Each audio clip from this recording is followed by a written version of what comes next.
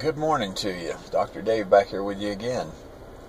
I'm going to take you down to Sulphur Springs in Tampa, Florida, the area where I lived in elementary school. Actually, it's where I was born. Now, everybody knows that the Zodiac killer did his murders in the area of water. And I've showed you the Sulphur Springs before, but I want to give you a, a little bit better idea of how that whole thing is set up. So let's just get on over there right now while it's early.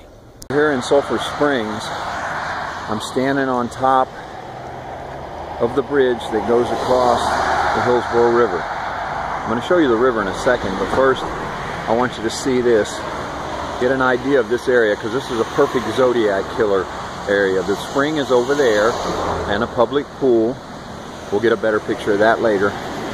And right here is the river. Let's go up there and take a look at it. This is the Hillsborough River. If you follow it down that way, it winds around and it goes to downtown Tampa, which is only about two miles from here if you take the river. But if you drive it, it's several miles. Now this wraps around the area where I live, where the Zodiac killer was killing people back in the 50s and tried to kill me.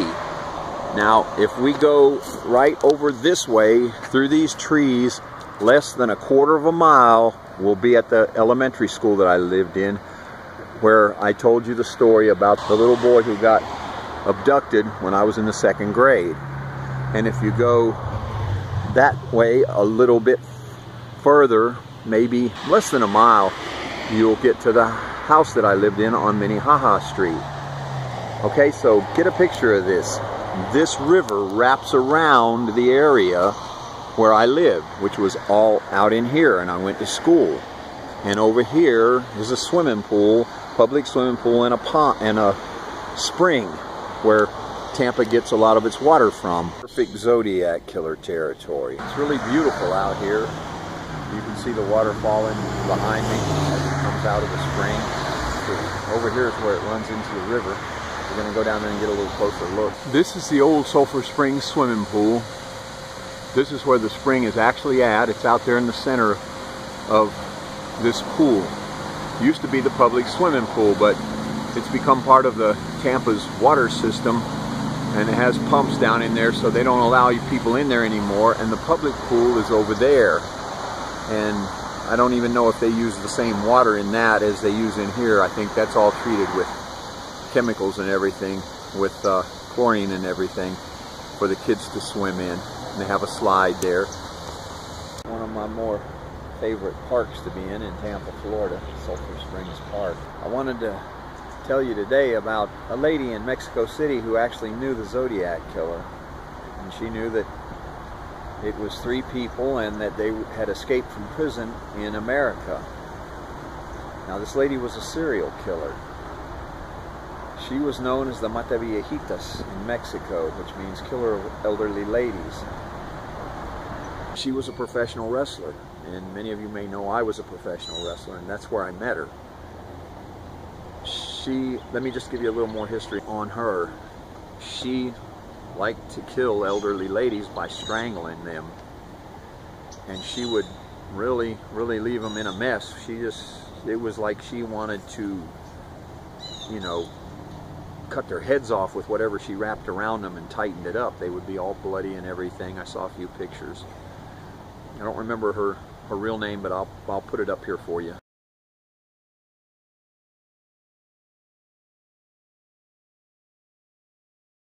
Her wrestling name was La Dama de Silencio, which means the Lady of Silence. Now, in the dressing room one day, before the wrestling matches, she was there and she was wrestling, and so was I. She was sitting down on a bench over there, and there was another wrestler standing beside of her, and I was walking by. And the wrestler called me over and said, Hey, David, I want you to meet my friend here. He said her name. And I go, you're a wrestler? And she says, yeah. And he said, she is, her name is the Dama de Silencio. And I said, Dama de Silencio, the Lady of Silence. You have a secret or something? And she just looked at me like, yeah. She, you know, she didn't talk very much and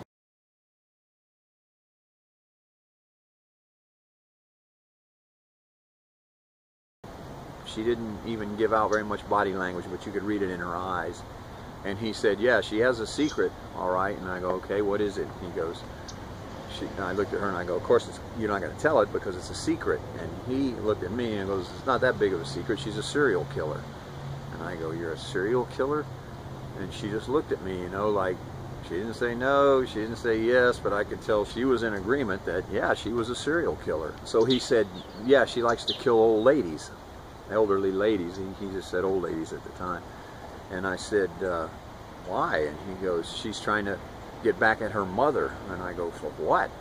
And she go, he says, because she uh, gave her away to a guy who abused her and raped her and beat her and all this other stuff. And I looked at her and I go, well, I'm really sorry to hear that. She looked at me with the most gentle eyes I think that I've ever seen. And I told her, I said, I can't believe that you kill people over that. I mean, you look so gentle. And she just looked at me like, like she was looking at me saying, there's two people inside of me. Same way Frank Morris was. And the wrestler said that she had gotten pregnant to this guy who was abusing her. So I told her that I knew a guy that, you know, told me he was a killer, but that I really didn't believe him. And somehow we got on the conversation about, you know, who he was and what he was like. And I said a few things about what he looked like and everything. And I told her that he was, there were actually three of them and that they were Americans and she she goes, yeah, there's a guy, there's a a guy here like that, and he's got a couple of friends. And I go, and he really is a killer. And she just looked at me. She didn't say yes or no. And the other wrestler was standing there laughing all the way through this whole thing. I told her that they had escaped from a prison in America, and she goes, yeah, yeah, that's him. And I, she said, the other wrestler said something about, you know, see, he, he, he's, that guy that's after him is, is the same guy that you know. And she goes, well, how do I know that? How, how, how do I, how can you prove that it's the same guy? And I, it just occurred to me uh, to say something to her about the closet. Take a look at my video on the Frank Morrison, the closet, the place where he got his demons from. So I just looked at her and I said, now remember, she was sitting down on the bench in front of me and looking up at me. And I said, and I said, you said that you were abused and beaten and everything. Did they put you in that closet? And when I did, she was looking down at her socks. I remember working with something or her boots, and she just looked up at me like that. Just sat there and stared at me. And I go, you have been in there, haven't you? And I, mean, I could see fear in her eyes. And I go, did you meet the demons? And she kind of went like that. All the time that other wrestler standing there beside her laughing. I think he said that he, she was his aunt or or something like that. He was a nephew. And he looked at her and he asked her, you know, you think it's the same guy? And she looked up at him and then she looked at me and she went, she pointed at me and she went like that. She made an X. And then she never said anything else. And he started laughing and I go, what? And she goes, and the, and he said, and he said, he's going to kill you. And I go, wow, this is all bizarre. You actually know him? And she goes, yeah. It, and I said, and you know that he escaped from prison in America? And she said, yeah. And I go, and you guys sit around and talk about this thing? And she just kind of like, you know, I, I came to the conclusion that in Mexico, serial killers congregate together. You have to keep in mind that Mexico is a, a place where they're not under the same laws as we are. Murder, you know, a conviction, a murder conviction is a 20-year sentence.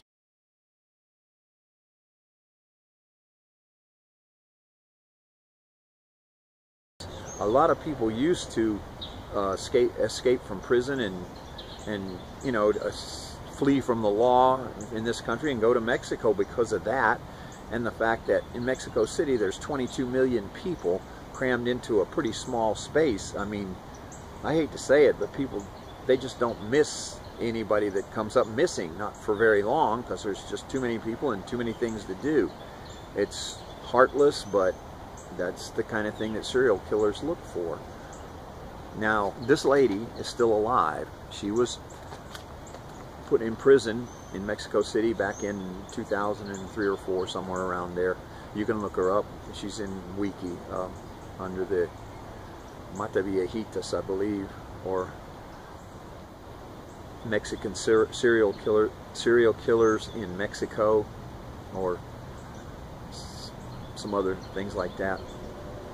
And if I can ever get a chance to go to Mexico and interview her and get her to to tell us anything about Frank Morris, you'll see that there is another person on this planet that knew him and knew knew me.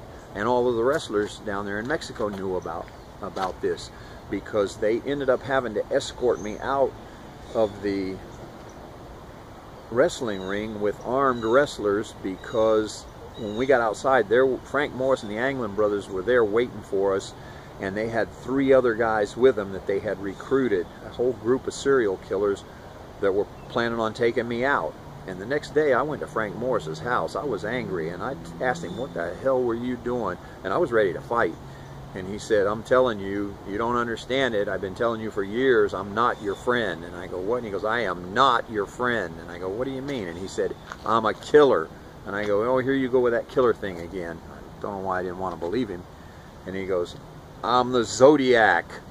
And he said, now that's not me, okay? That's Frank saying that. And he says, and he said, and he said somehow he got around to saying that he was going to kill me, and and I told him that uh, I don't remember how he said it, but and I told him, yeah, you've been telling me that for years, and you've been trying to catch me, and you haven't caught me yet, so. And he goes, yeah, but we came pretty close last night. And I go, so? And he goes, well, your luck's going to run out soon. And I go, what do you mean? And he goes, well, let me just put it this way. When it happens, you're not going to know about it. Well, I had already made plans to leave Mexico. The wrestling office wanted me to go to Japan with Mil Mascaras and Kanek. And that's what I should have done, but instead I, I took off with my girlfriend and we came up back to America and got married and came back here to Tampa. I never saw Frank again after that. That was in 1986.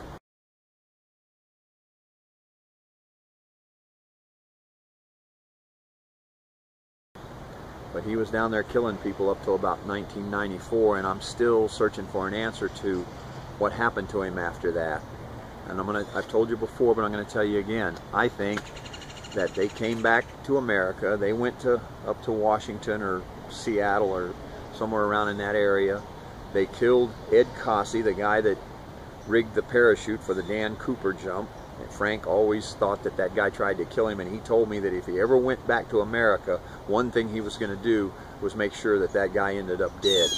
And he said that he would, if he couldn't do it himself, he would send someone to do it. And he talked around that, you know, to keep from saying the dead word and the and kill word. He, he'd work around that so that, because he told me that when I was 17, and that was one of the first things he told me when I first met him. So I just concluded that he was uh, unhappy with the way the guy packed the parachute for the Dan Cooper jump. Back in 2013, somebody got into that guy's garage, Ed Cossey's garage, and beat him to death. And I think it was Frank Morris and the Anglin brothers. Because Frank told me that if he couldn't get up there to do it himself, he would send somebody to do it. Well, everybody that did, the guys that did his dirty work for him or the Anglin brothers. On my next video, I'm to go through the FBI files for you and show you their rap sheet so you can see that they weren't just innocent little kids playing with pop guns. They stole $18,000 from a bank back in the 50s. That was like a million bucks nowadays.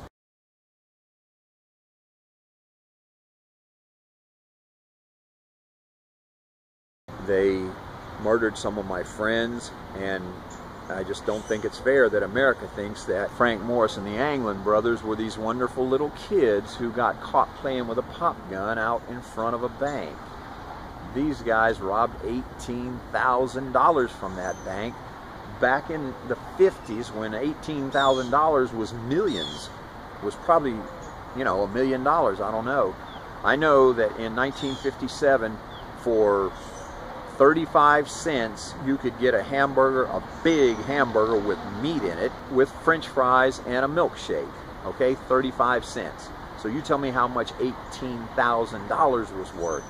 You could have bought a half a dozen houses and lived on that for years and years and years. And these guys would rob banks in small towns, so they probably took everybody's savings out of the bank in that small town, and it was probably the town they lived in. So all of these uh, people in the town knew that these guys were more than just mischievous. And the jury and the judge decided to throw the book at him and gave him 35 years in Leavenworth. Now, you don't end up in Leavenworth for playing with a toy gun. That's a place where you spend your life 10, 12 hours a day breaking rocks. Or at least it was back then. I don't know how it is now. That's why they threw the book at him. Doesn't matter if you use a fake gun or not. The people in the bank thought the gun was real and they gave them all the money. But that's not the only thing they did. I'll, I'll show you a video on that. Meanwhile, isn't this a beautiful place? Thank you for listening. Thank you for watching. Give me some comments below and please give me a thumbs up on this video. It cost me a lot of money to go to Florida and make the video. I'm thinking about making another video up at Lake Tahoe and I'm thinking about inviting my subscribers to come up and meet with me and we can talk about all of the things that I know about these guys. So if any of you are interested, please leave me a comment and I'm going to connect with you somehow. I'll give you my email or my phone number or whatever. And when I get ready to, to do that, maybe we can coordinate and, and get up there together. Thanks again for watching. Don't forget to thumbs up